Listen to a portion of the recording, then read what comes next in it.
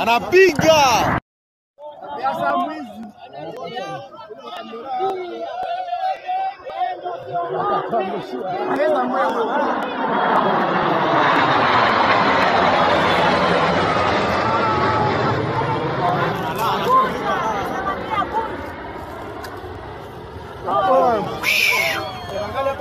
anapiga ni breaking news n'ubundi nk'uko dusanzwe turi aba mbere mu kubagezaho inkuru ziba zitambuka aka kanya. Hano turi mu mujyi wa sake mu majyaruguru ya repubulika iharanira demokarasi ya kongo aho indege sukoyi makumyabiri na gatanu n'ubundi ibashije kuba yajya hasi irashwe n'umutwe witwaje intwaro wa m makumyabiri na gatatu. Ubwo rero bari bayigabyeho ibitero hano mu mujyi wa sake aka kanya nibwo bikimayije kuba ni breaking news turaza gukomeza tubacukumburire mu kanya gatoya ntimujye kure Eh bwana, ni usiku zile hautaona watu yote wanakimbia kabisa. Unaona mbarabara tuka watu yote sake sai wako wakimbia, kumepigiwa masasi. Sasa zile masasi zinaacha watu yote wanakimbia. Sasa tuiwe kama saa hii sasa vitakuwa antuka vrema, saa watu yote wako wakimbia huko, naona hmm? Kwa naona mamizigo. Kama wote wote wanakimbia sasa hivi.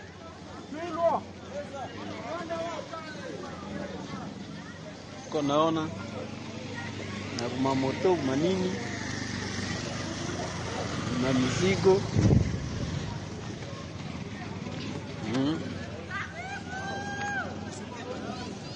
Ka wote wote wanaenda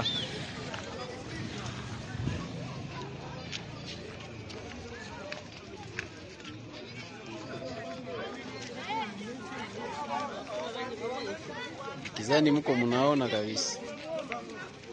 Ko munaona watu kisi wako wapita sai watu wote wako wakimbia. Jua masasi zimepigiwa tuiwe kama ni nini njo inakuwa sai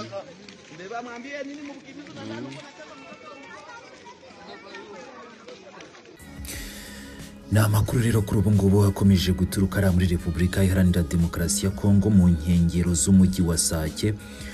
Aho rero inyeshyamba za M23 n'ubundi zagabye ibitero bikomeye cyane zigamije kwigarurira uyu mujyi wa Sake.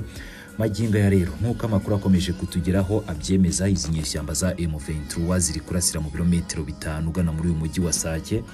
Ndetse rero ngo igisirikare cya FARDC na cyo kikaba kiri kwifashisha indege zo mu bwoko bwa kajugujugu mu kugerageza kurinda uyu mujyi wa Sake ngo utagwa mu maboko y'izi nyeshyamba. Tugiye gukomeza rero turebera hamwe ibijyanye n'aya makuru ariko nanone ngo abaturage kuva mu rukerera rwo kuri uyu wa mbere bazindutse n'ubundi bahunga bava muri uyu mujyi wa Sake berekeza mu mujyi rwagati wa Goma. Amakuru akomeje kugenda avugwa na bamwe mu banyamakuru batandukanye bari gukurikiranira hafi urugamba bakavuga ko uyu mujyi wa Sake noneho ngo abaturage bashobora kuba benda gushiramo bose bahungira mu mujyi wa Goma kubera ko noneho ngo inyeshyamba za M23 ziragaragaza amahirwe menshi cyane yo kuba zakigarurira uyu mujyi wa Sake.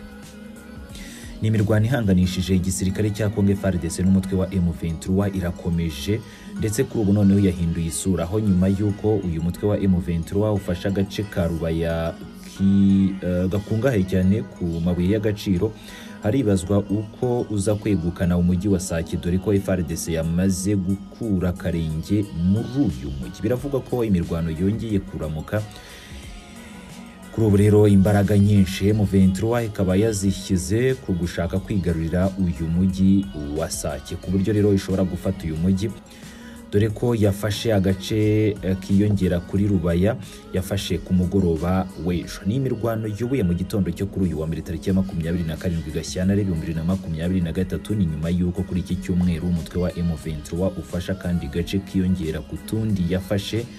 Muri iki cyumweru twaraye dusoje. Abakurikiranira hafi amakuru y'urugamba baravuga ko abasirikare ba FARDC ndetse n'inyeshyamba zibafasha zirimo fdr ndetse n'abacancuro bari muri uyu mujyi wa sake ngo batangiye gukuramo akabo karenge. Gusa nanone abarwanyi b'umutwe wa m23 nabo ntibarinjira muri uyu mujyi ariko bari kurasira hafi cyane y'uwo mujyi bagerageza kuwinjiramo kuko noneho ngo bari mu birometero bitanu byonyine. Kuri iki cyumweru kandi ubwo rwambikanaga hagati ya FRDC na M23 abarwanyi b'uyu mutwe batwitse ibifaru bibiri bya FRDC byari byabazengereje ni amakuru n'ubundi ku munsi w'ejo yakomeje kugenda ajya ahanze. Maginga ya rero nuko inyeshyamba za M23 zikomeje kurwana ngo zirebe uko zakigarurira uyu mujyi wa Sake.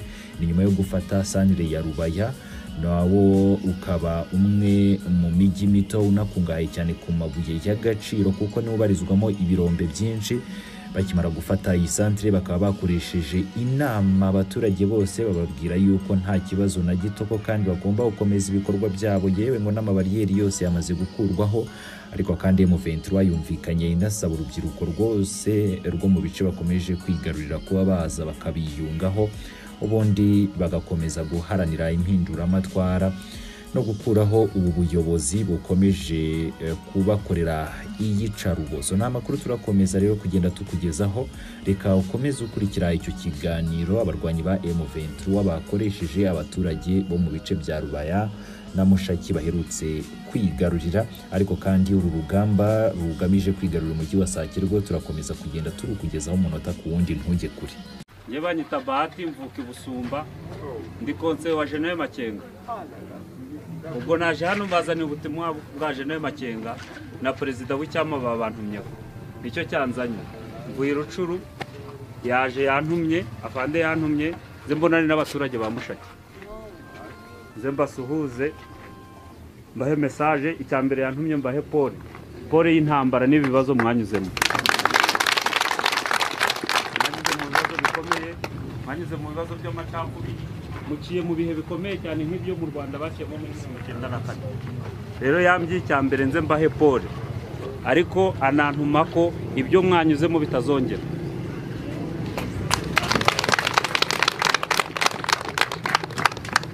Igihari ni ugufatanya. Igihari ni ugufatanya. Tukareba ukuntu uyu mwanzi kuko amacakubiri ntaho yageza abantu. Nta muntu wavutse ngo avuke yitwa ubwoko furani imana niyo yaremye abantu umuntu aravuka imana imenya ubwoko bwe. Rero iyo urwanya ubwoko ntabwo uba urwanya umuntu ahubwo uba urwanya imana. Kandi ikindi cya kabiri buri bwoko bubamo abantu babi. Rero umuntu iyo abaye mu bwoko akaba afite ari mubi aba ari endividi aba ari umuntu ku giti cye. Ariko niba umuntu azakora ikosa ari umwe rya kosa rikitirirwa ubwoko bwose icyo gihe uzaba urwanya imana. Igihari rero tugomba gufatanya imasisi ni iwacu. Twese turi abana b'imasisi tugomba gufatanya abantu bakareka ivangura. Bakareka ivangura abantu bazana amacakubiri tuzabarwanya. Tumaze imyaka tumaze imyaka itanu mu parike yitwa sabyinyo. Hariya hariya muri parike. Twamazeho imyaka itanu nta cyadukanga rero kubona twaramaze imyaka itanu mu birunga nta zuba ari imvura nta bundi buzima buhari. Icyo cyose twabayeho kugira turebe ukuntu tuzarengera bene wacu. Ubu rero nta kizaduhagarika. Tugomba kubafasha tukabatabara. Rero mesaje ya fande mesaje ya jenere makenga ni iyi. Mesaje ye ni ebyiri. Ni uko buri muntu wese agomba kubana n'undi. Ntawubangamiye undi ntawubangamiye undi abantu bose bakabana mu mahoro. Nicyo kintu cya mbere.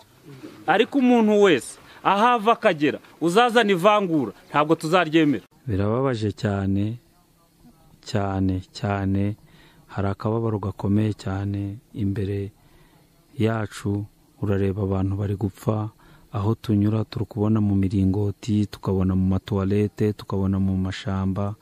Abantu bagiye bicwa bazira icyo bari cyo uko imana yabaremwe. Uko imana yabaremye bari kwicwa n'interahamwe. Mayimayi nyatura frdc babaziza icyo bari cyo. Kandi ari abakongomani nkabo nta muntu ufite ubukongomani kuruta undi. Rero dushyire imbaraga hamwe ubu bwicanyi.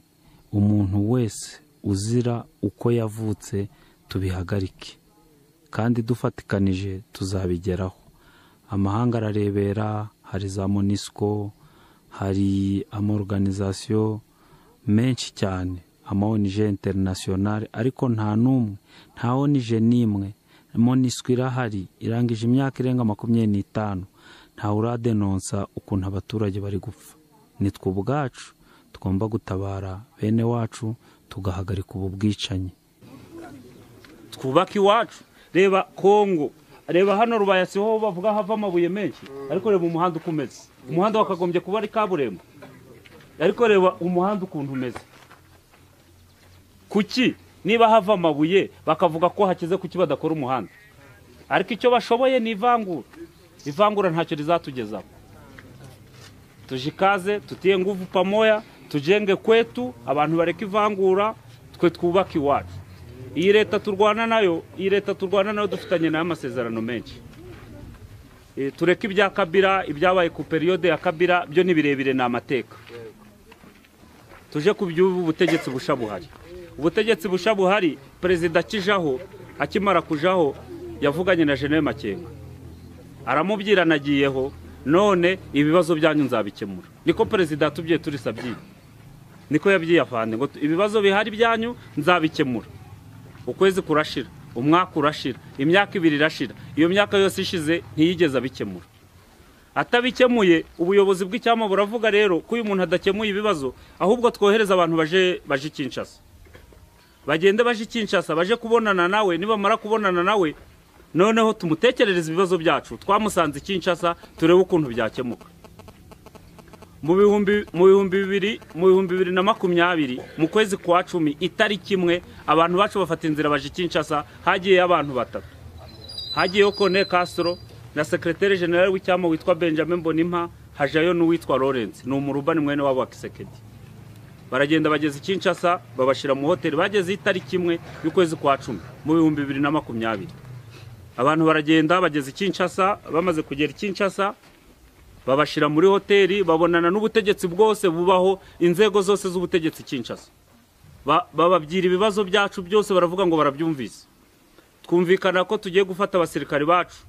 Noneho twarangiza baravuga rero twebwe abantu benshi baravuga ko muri abanyarwanda n'abaganda. None muzane lisite y'abantu ibihumbi bitandatu. Tubishyire mu mashini. Turebe niba abo bantu koko barabaye muri FRDC ya lisite turayitanga tumaze kuyitanga barareba basanga muri ba basirikari bacu hari abo turi kumwe mu ishyamba muri sabyinyo bagihembwa amafaranga y'abasohoka. Turi kumwe muri sabyinyo abasirikari ariko kuri lisite ya leta amafaranga yabo arasohoka bari abajenerali bari kuyarya. Kandi turi kumwe nabo mu ishyamba abasirikari akaba ari mu ishyamba ari kapitene muri muri hoje yacu ya M23 waje gusanga muri leta ugasanga baramuporomotinze ni majoro ariko barangiza. Bakabirinduka bakatwita abanyamahanga. Abantu barabonana baravugana barangije kuvugana turumvikana. Twumvikana ko tugiye kubaka brigade ebyiri. Brigade imwe ikaja i Kinshasa tukayicanga n'abantu ba Kisekedi. Noneho igacunga ikaba Kinshasa ikaba ahantu hitwa Mbanzabungu igacunga Kisekedi. Ibyo byose twarumvikanye. Na bije y'amafaranga azakoreshwa yose barayasinyira. Ariko kubishyira mu bikorwa birananirana. Turangije kumvikana abantu bacu bari Kinshasa itariki umunane itariki umunane z'ukwezi kwa z'ukwezi kwa cumi na kumwe. Mu bihumbi bibiri mu bihumbi bibiri na makumyabiri na rimwe baradutera. Abantu twumvikanye twakoranye ibintu byinshi Kinshasa.